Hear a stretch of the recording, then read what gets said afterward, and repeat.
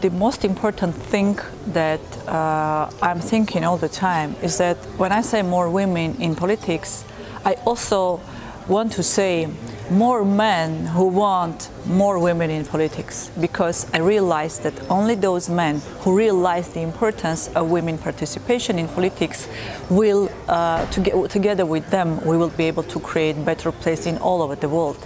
And in that sense, I met some men and I understand that women also need to negotiate with them, cooperate with them, not just fight them, but uh, and maybe not only, but there are some places that we have to. But I want them to cooperate with us, and all those men who want more women in politics, we also need to support them to have shared and better places in decision-making processes, in, in uh, key positions, so that then more women can come into politics. Well, I think that in Croatia still uh, there is um, a lot of uh, burden on women in terms of uh, domestic life and taking care of the family. And the, the whole uh, infrastructure is not uh, adjusted to their needs.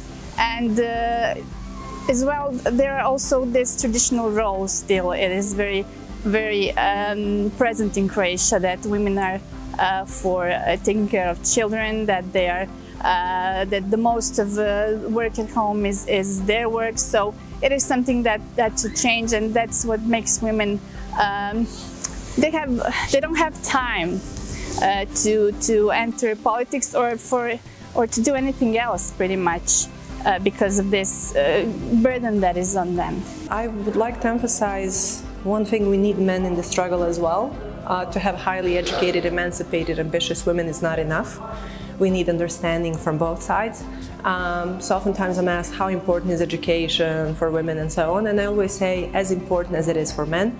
Uh, because we can no longer afford, like we had in the past hundreds of years, to invest in only one gender. We need equality, and that means equality for men as well.